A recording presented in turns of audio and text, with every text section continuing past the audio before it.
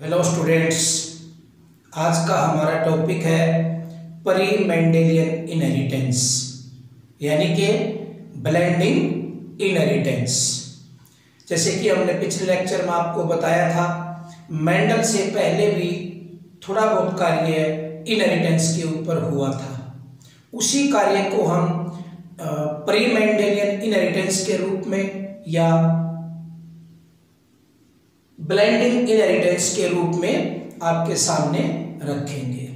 कुछ थ्योरीज थी जिनका अलग अलग तरीके से ये मानना था कि इस तरीके से इनहेरिटेंस होता है। तो उन्हीं थ्योरी को हम डिस्कस करेंगे। जो फ़र्स्ट हमारी थ्योरी है, वो है moist vapour theory moist vapour theory moist vapour theory, ये पाइथागोरस ने दी थी। किसने दी थी? पाइथागोरस। पाइथागोरस। ये थ्योरी पाइथागोरस ने दी थी। क्या कहते हैं? According to this theory according to this theory moist vapour moist vapor.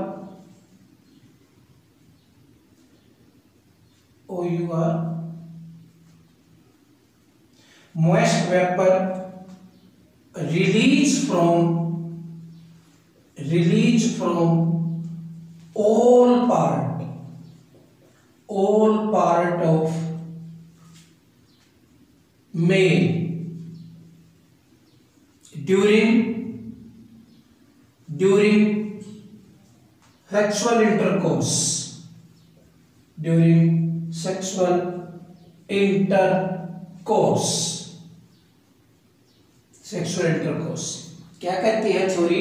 ये थ्योरी ये कहती है कि मॉइस्ट वेपर्स ये थ्योरी का नाम इसीलिए पड़ा मॉइस्ट वेपर रिलीज़ होते हैं from all body parts of male all body parts of male during sexual intercourse and form similar body in womb of womb का मतलब होता है गर्भाशय in womb of female body female तो theory moist vapour theory किसने दी? Pythagoras. Pythagoras एक scientist हुआ है बहुचर्चित ये ये कहते हैं कि हर एक बॉडी पार्ट से मॉइस्ट वेपर रिलीज़ होते हैं मेल के हर बॉडी पार्ट से। कब? During coitus.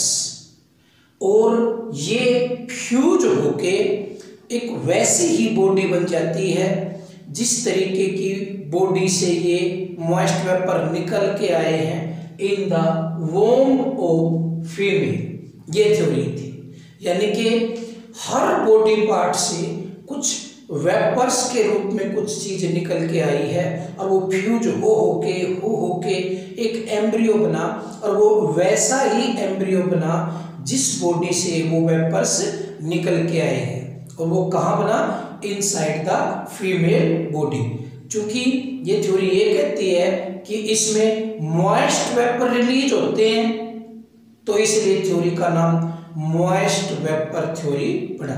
लेकिन जो दूसरी थ्योरी थी, वो थी फ्लूड थ्योरी फ्लूड थ्योरी या reproductive blood theory reproductive blood theory ये अरिस्टोटल ने इस थ्योरी को दिया था। This theory was given by Aristotle Aristotle Aristotle जो फादर ऑफ़ बायोलॉजी या फादर ऑफ़ जूलॉजी रहे हैं Aristotle this theory was given by Aristotle. ये अरिस्टोटल और पाइथागोरस में थोड़ा सा कंट्रोवर्सी क्या? ये कहते थे मॉइस्ट वेपर रिलीज़ होते हैं हर बॉडी पार्ट से। लेकिन जो अरिस्टोटल जी हैं, वो क्या कहते थे कि मॉइस्ट वेपर रिलीज़ नहीं होते फ्लूड फ्लूड रिलीज़ होता है रिप्रोडक्टिव ब्लड रिलीज़ होता है। According to this theory according to this theory uh, fluid is released from all body parts of male. Instead of instead of moist vapour moist vapour की बजाय moist vapour की बजाय क्या release होता है? Fluid क्या रिलीज़ होता है?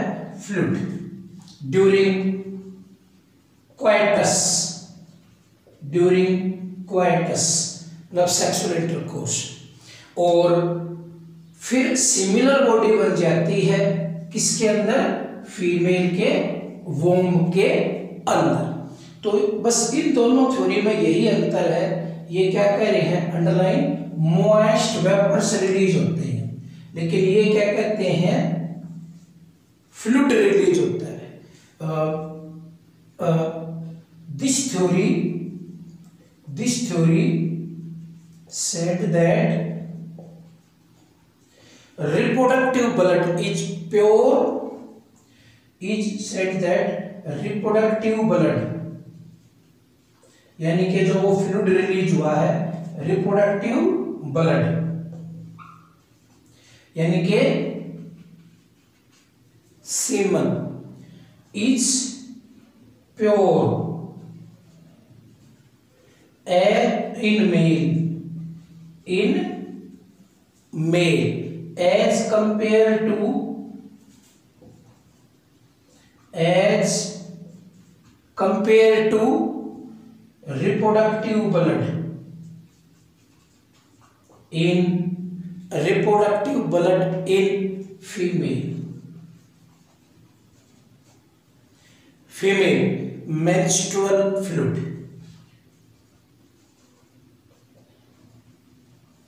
menstrual fluid यानी कि जो मेंस्ट्रुअल फ्लूड है यानी कि फीमेल रिप्रोडक्टिव ब्लड है, वो इम्प्योर है और जो मेल रिप्रोडक्टिव ब्लड है, यानी कि जो सीमन है, वो प्योर है।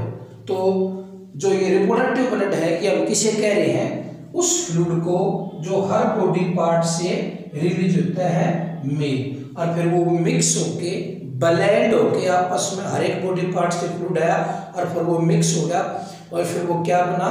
एम्ब्रियो यानी कि फिर वैसी बॉडी फीमेल होम के अंदर डेवलप हो जाएगी। तो ये फ्लूड थ्योरी अरिस्टोटल ने दी थी। अब जो तीसरी है थ्योरी वो है प्री फॉर्मेशन थ्योरी तीसरी थ्योरी कौन सी है? प्री फॉर्मेशन थ्योरी उसमें ये कहते हैं कि जो लाइफ है, वो ऑलरेडी एग्जिस्ट होती है। किसके अंदर? जो गैमेट्स होते हैं, उनके अंदर बहुत सूक्ष्म रूप में preformation theory preformation theory वो given by given by Swammerdam सेमर S W A double M E R D A M Swammerdam S W A double M E R D M सेमेडर ने इस theory को दिया था। According to this theory according to this theory ये क्या कहती है? और life is already exist life is already exist life is already exist किसमें? In gametes in gametes gametes का मतलब स्पर्म और एग के अंदर. In miniature form in miniature सूक्ष्म रूप में मिनिएचर फॉर्म यानी कि ये थ्योरी के अनुसार इनका क्या मानना था? ऑलरेडी एग्जिस्ट है लाइफ यानी कि प्री फॉर्म्ड है। ऑलरेडी एग्जिस्ट का मतलब लाइफ प्री फॉर्म्ड है, पहले से ही बनी हुई है। गैमेट्स के रूप में मिनिएचर फॉर्म में, बिल्कुल सूक्ष्म रूप में। फिर जब फर्दर ग्रोथ कैसे होती है? जब ये गैमेट्स फ्यूज करते हैं ब्लेंड करते हैं मिक्स होते हैं फर्टिलाइजेशन के दौरान तो फिर उनकी फर्दर ग्रोथ स्टिमुलेट होती and and further growth further growth of life occurs due to due to fertilization fertilization यानी कि fusion of gametes. Fusion of gametes. जब गैमेट्स फ्यूज हो जाते हैं तो जो उनकी मिनिएचर फॉर्म में जो लाइफ थी, उनकी फर्दर ग्रोथ हो जाती है और एक कंप्लीट एम्ब्रियो का निर्माण हो जाता है और उस एम्ब्रियो से नया जीव बन जाता है। ऐसा इन थ्योरी वालों का मानना था। अब डार्विन्स ने थ्योरी दी थी, ये तीसरी कौन सी थ्योरी थी? Pangenesis. Pangenesis pangenesis theory. Given by Darwin. किसने दी? डार्विन ने। पेंजेनेसिस थ्योरी किसने दी थी? डार्विन। ने का मतलब होता है small particle according to this theory small particles देखो, थोड़ी सी बात यहाँ पर बदली। मॉइस्ट वेपर थ्योरी में क्या कहते थे? मॉइस्ट वेपर रिलीज़ होते हैं, हर बॉडी पार्ट से मिलके। और फ्लूड थ्योरी वाले क्या कहते थे? कि मॉइस्ट पेपर रिलीज़ नहीं होते फ्लूड रिलीज़ होता है हर बॉडी पार्ट से मेल की। लेकिन डार्विन जी क्या कहते थे कि ना तो मॉइस्ट वेपर ना फ्लूड छोटे छोटे पार्टिकल्स स्मॉल पार्टिकल्स ब्रैकेट में लिख देता हूँ pangene release from from uh, body parts all body parts which which blend or mix which blend or mix and converted into वे छोटे छोटे पार्ट जो पेंजीन कहलाते थे वो हर बॉडी पार्ट से निकलते हैं मेल की ड्यूरिंग सेक्सुअल इंटरकोर्स जैसे कि हम पहले बता चुके हैं एंड मिक्स होके converted into embryo converted into embryo which give which give next generation और ये एम्ब्रियो क्या देगी? Next generation which give next generation और ये एम्ब्रियो नेक्स्ट जनरेशन के रूप में विकसित हो जाएगी। तो यहाँ पर छोटे छोटे पार्टिकल्स रिलीज़ होते हैं, उनको पेंजीन कहते हैं। सेक्सुअल इंटरकोर्स के दौरान from all body parts of male these particle get mixed during fertilization यानी कि ये ब्लेंड हो जाती है और एक एम्ब्रियो बन जाता है और एम्ब्रियो नई जनरेशन के रूप में विकसित होता है। चूँकि according to this theory small particles release from all body parts of male तो उन स्मॉल पार्टिकल्स को पेंजीन कहते हैं तो थ्योरी का नाम भी पेनजेनेसिस रखा गया। अब हाँ अभी तक जैसे अगर आप ये पूछना चाहें, सर, वो मॉइस्ट वेपर कैसे रिलीज़ होते हैं? वो फ्लूड कैसे रिलीज़ होता है? ये स्मॉल पार्टिकल कैसे रिलीज़ होता है? तो हम आपको पहले ही बता चुके हैं इन थ्योरी के पीछे कोई साइंटिफिक लॉजिक नहीं थे। इसलिए ये सभी थ्योरी फेल हुई थी। ये तो जस्ट आपको ये इंट्रोड्यूस कराने के लिए बताई जाने लग रही है कि मेंडल से पहले भी कुछ प्रयास किए गए थे कंसेप्ट ऑफ़ इनहेरिटेंस को बताने के लिए। लेकिन वो सफल नहीं हुए थे। इसलिए इनको ब्लेंडिंग थ्योरीज कहा गया, जिसके यानी कि आधारलेस ये किसी प्रकार का इनके पीछे कोई आधार नहीं था। अब पांचवी थ्योरी क्या थी? जर्म प्लाज्म थ्योरी कौन सी थ्योरी जर्म प्लाज्म थ्योरी ये विज मैनन ने दिया था इस थ्योरी को germ plasm theory germ plasm theory given by Weismann Weismann W E I S M A double N Weismann according to this theory ये theory क्या कहती है? अकॉर्डिंग टू दिस थ्योरी जो जर्म प्लाजम है, जो protoplasm है, वो immortal है, वो मरता नहीं है। According to this theory germ plasm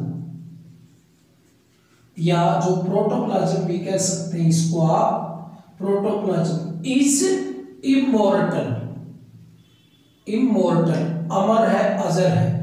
immortal ये मरता नहीं है. Which transmit from which transmit from which transmit from from transmit from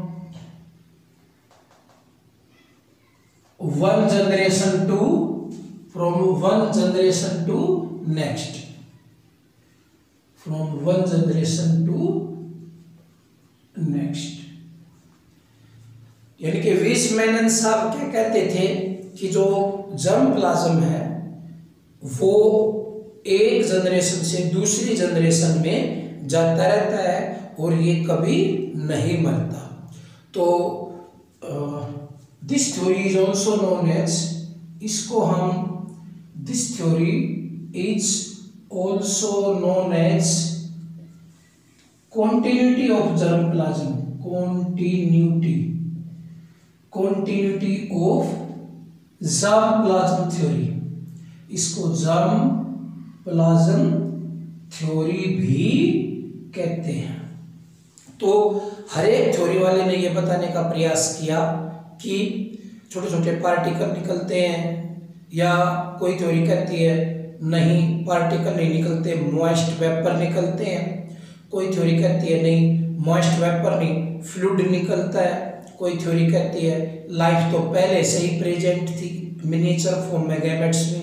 कोई थ्योरी कहती है कि नहीं जो छोटे छोटे पार्टिकल्स हैं पेंजीन वो फ्यूज होकर एम्ब्रियो बना के और नेक्स्ट जनरेशन तैयार करती है। तो ये सभी theories blending theories of inheritance थी, जिसके पीछे कोई वो ठोस, कोई साइंटिफिक बेस नहीं था। फिर ये थ्योरी फेल हुई। इनके फेल होने के पीछे इनके अगेंस्ट में कुछ एविडेंसेस थी। तो हम अब उन्हीं को डिस्कस करेंगे। एविडेंसेस अगेंस्ट ये थोड़ा सा इंपॉर्टेंट एविडेंसिस सबूत किसके अगेंस्ट इन थ्योरीज के against evidences against evidences against blending theories blending theories ये जो ब्लेंडिंग थ्योरीज थी, इनके अगेंस्ट कुछ एविडेंसेस जैसे sex of traits does not blend और mix in unisexual organism sex of traits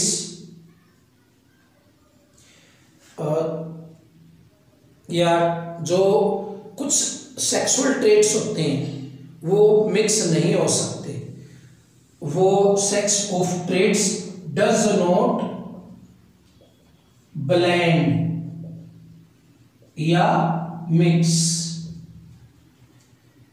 जो सेक्सुअल ट्रेट्स होते हैं, वो मिलते नहीं हैं ब्लेंड नहीं होते हैं मिक्स नहीं होते हैं in unisexual organism unisexual organism जैसे इसका भाव समझे मान लीजिए ठीक है सेक्सुअल इंटरकोर्स के दौरान वो जो ट्रेड्स हैं वो मिल जाते हैं और एम्ब्रियो बन जाता है। बट इस केस में देखिए अगर जीव ऑर्गेनिज्म है ही यूनिसेक्सुअल तो फिर उसके ट्रेड्स किसके साथ मिलेंगे? नहीं मिल सकते। अगर वो ऑर्गेनिज्म है ही यूनिसेक्सुअल उसको इंटर आ, उसकी सेक्सुअल इंटरसेक्सुअल कोर्स की ज़रूरत नहीं है तो फिर उसके ट्रेड्स कैसे मिलेंगे? यही लिखा है sex of traits does not blend और मिक्स इन यूनिसेक्सुअल ऑर्गेनिज्म ठीक है सेक्सुअल इंटरकोर्स के दौरान वो उनमें मिल जाते हैं, लेकिन यूनिसेक्सुअल ऑर्गेनिजम्स के अंदर वो किस तरीके से मिक्स करेंगे? तो यह सीधा सा ये अर्थ हुआ कि जो ब्लेंडिंग थ्योरीज हैं, वो उसके पीछे सही ठोस सबूत नहीं है। तो उसके अगेंस्ट ये एविडेंस निकल के आया कि यूनिसेक्सुअल ऑर्गेनिज्म के अंदर ऐसे इस तरीके से ट्रेट्स का मिक्स होना या ब्लेंड होना संभव नहीं है। दूसरा अब मान लीजिए production of production of production of intermediate intermediate skin colour skin colour individual individuals production of intermediate skin color individual from from dark and fair color parents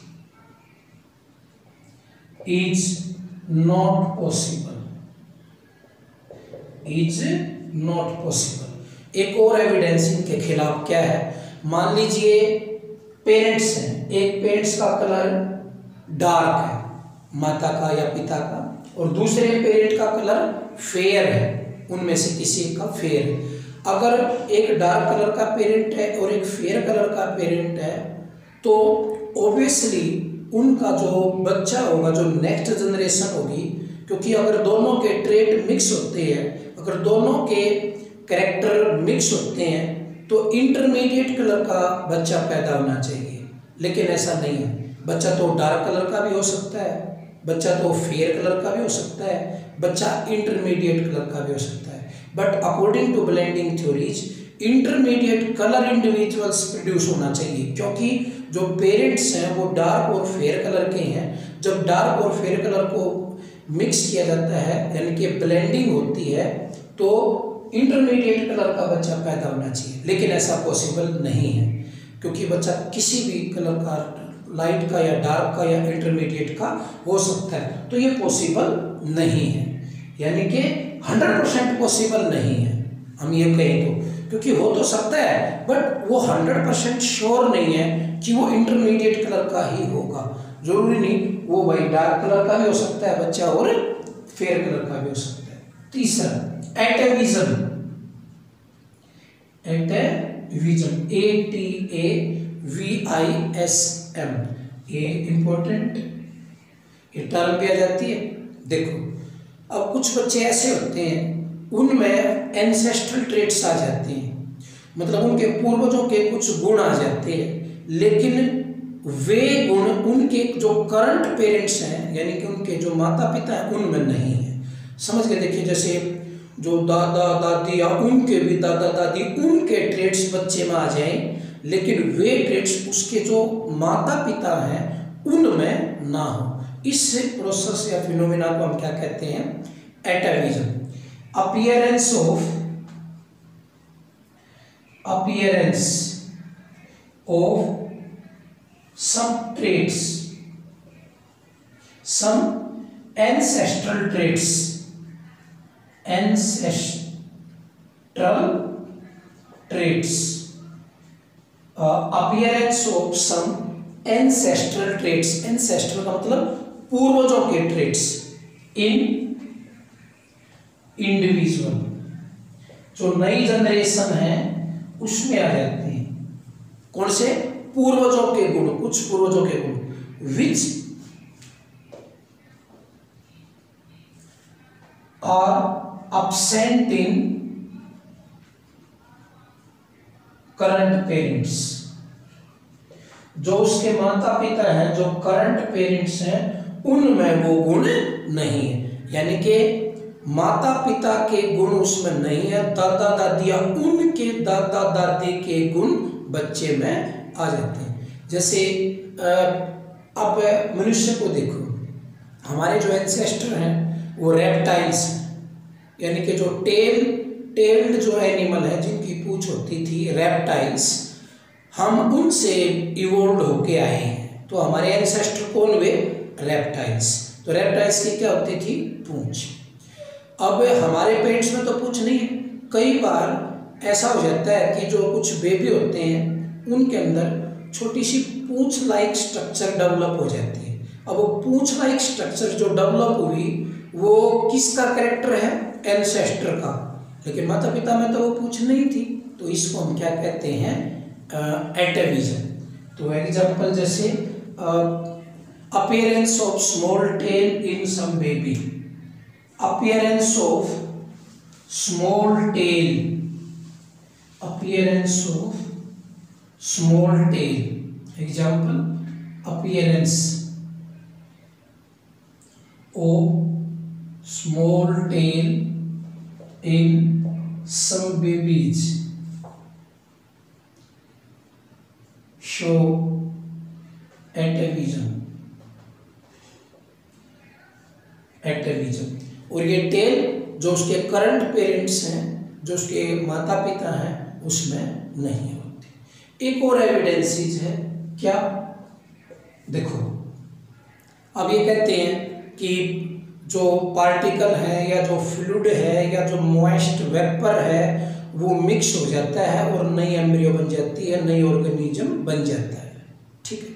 लेकिन अगर दो स्पीसीज को आपस में हाइब्रिडाइज करवा दिया जाए तो फिर कैसे बात बनेगी वो? यानी कि हाइब्रिड भी तो उत्पन्न होते हैं, वो दो वैरायटी से भी या दो स्पीसीज से भी मिलके बनते हैं। तो ये कैसे पॉसिबल हुआ? ये तो ब्लेंडिंग थ्योरी के अगेंस्ट है। क्योंकि ब्लेंडिंग थ्योरी तो ये कहती है कि जो पेरेंट्स हैं, वो सेम स्पीसीज या सेम वैरायटी या सेम फैमिली के होने चाहिए। लेकिन अगर डिफरेंट वैरायटी और डिफरेंट फैमिली और डिफरेंट स्पीसीज को अगर आपस में अलाउ टू हाइब्रिडाइज किया जाए तो फिर हाइब्रिड उत्पन्न होता है। तो फिर वो वाइबल कैसे है? डिफरेंट स्पीसीज या डिफरेंट वैरायटी का होते हुए भी वो वाइबल कैसे है? Production of production of interspecific interspecific यानी कि दो स्पीशीज के आपस में मिलाने से production of interspecific hybrid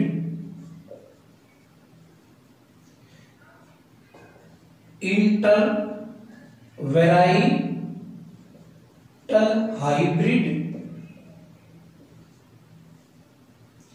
या interbreeding hybrid. Interbreeding, hybrid दो अलग अलग ब्रीड से एक हाइब्रिड डेवलप किया जाए। दो अलग अलग वैरायटी से एक हाइब्रिड डेवलप किया जाए। इंटर स्पेसिफिक में दो अलग अलग स्पीसीज से एक हाइब्रिड डेवलप किया जाए।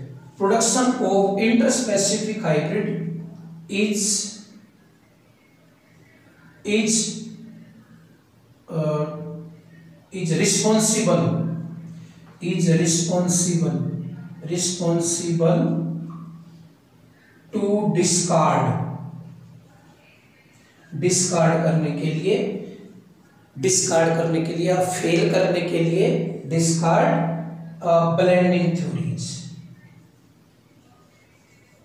blending theories यानी कि ब्लेंडिंग थ्योरीज को फेल करने के लिए ब्लेंडिंग थ्योरीज को फेल करने के लिए ये एग्ज़ाम्पल भी क्या है? रिस्पॉन्सिबल है।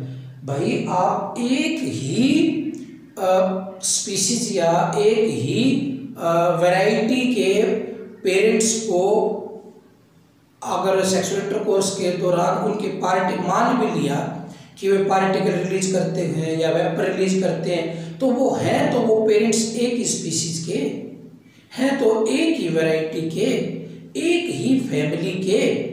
ठीक है, वो मिक्सड लेकिन अगर दो अलग अलग फैमिली या दो अलग अलग वैरायटी या दो अलग अलग स्पीसीज आपस में जुड़ेंगी तो फिर ये किस प्रकार होगा ब्लेंडिंग थ्योरी नहीं होगी। किस तरीके से हाइब्रिड पैदा हुआ? तो हाइब्रिड डेवलपमेंट के पीछे क्या कारण थे? ये ब्लेंडिंग थ्योरीज नहीं बता पाई थी। इसलिए ब्लेंडिंग थ्योरीज को फेल करने में प्रोडक्शन ऑफ़ हाइब्रिड काफ़ी रिस्पॉन्सिबिलिटी के साथ काम करता है।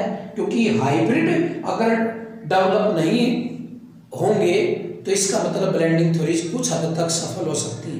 लेकिन हाइब्रिड डेवलप होने लग रहे हैं तो फिर ब्लेंडिंग थ्योरी आप फेल होती है, क्योंकि ब्लेंडिंग थ्योरीज एक स्पीसीज या एक ही वैरायटी के जो पेरेंट्स हैं, वो अगर सेक्सुअल इंटरकोर्स करें और मान भी लिया जाए कि उनकी बॉडी से कुछ फ्लूड या कुछ पार्टिकल या कुछ मॉइस्ट वेपर निकलते हैं और वो मिक्स होकर एम्ब्रियो बना दे। लेकिन यहाँ तो अलग अलग स्पीसीज और अलग अलग वैरायटी के पेरेंट्स आपस में हाइब्रिडाइज करने लग रहे हैं और हाइब्रिड बनाने लग रहे हैं तो production of hybrid is responsible to discard blending theories तो ये इसके अगेंस्ट में ये क्या थी? थ्योरीज थी. तो इस तरीके से ये जो ब्लेंडिंग थ्योरीज थी, ये क्या हुई? फेल हुई. अब हम जो हमारा नेक्स्ट लेक्चर होगा, उसमें यही डिस्कस करेंगे कि ऐसा जो जो टी सॉरी ये जो जीजे मेंटल था उसने कैसे काम किया और किस तरीके से वो इनहेरिटेंस के कंसेप्ट को बताने में सफल हुआ। तो आगे करेंगे something about G J Mendel